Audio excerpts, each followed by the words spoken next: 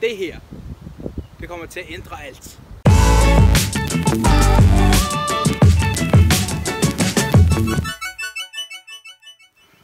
Nu er sneen endelig forsvundet, og blæsten den er her stadigvæk, men det, det vil være solskin, så det er på tide, at man bare er lidt udenfor. Det kan godt være, at det stadigvæk er koldt, men man skal ud og hygge sig, så øh,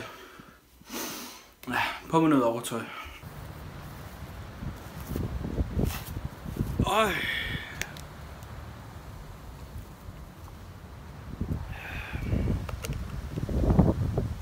Faktisk er der en ting. I dag der er det den 15. marts. Og det er i dag, at der er mange frist for at søge ind på videregående uddannelse. Blandt andet de to, som jeg søger ind på. Der, var, der er sgu noget ved at gå ind og trykke optagelse, sende ansøgning afsted. Her vil jeg gerne være. For nu er der sgu en fremtid at gå i øh, ungdomsuddannelse i folkeskole eller sådan noget der. Det er hårdt, nu vel, men ikke som på en videregående uddannelse. Det her, det kommer til at ændre alt. Ikke bare for mit eget personlige ting,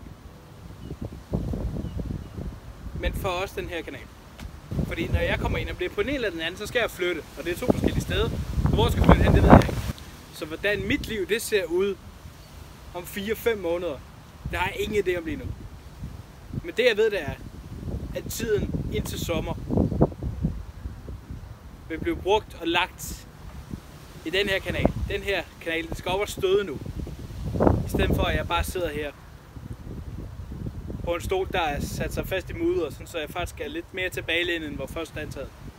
Jeg føler mig som Ray i Star Wars The Force Awakens, der har taget sin første skridt. Og lige om hjørnet kommer The Last Jedi, og der håber jeg, der har jeg lidt blandet med, faktisk.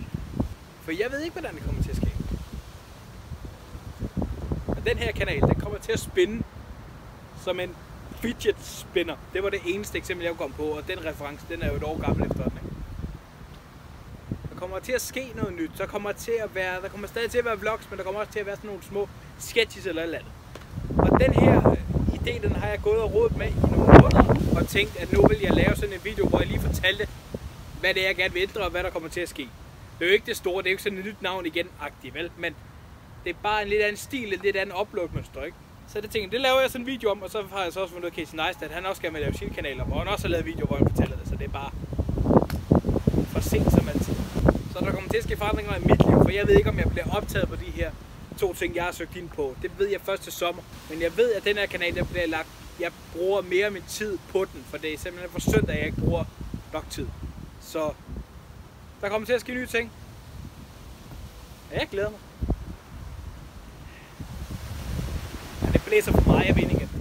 Nu når øh, vi er inde igen, så vil jeg bare også lige huske at sige, at øh, i juni, jeg mener den 4. juni, der øh, begynder WWDC, Apples øh, udviklerkonference ting, hvor at de præsenterer de nye software ting i iOS 12 for eksempel. Så kryds i kalenderen, det er det, der kommer til at ske. Og så ses vi. Ting anderledes.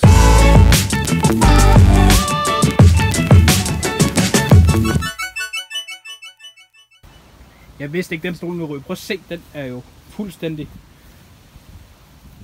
Okay, den sidder fast. Øh.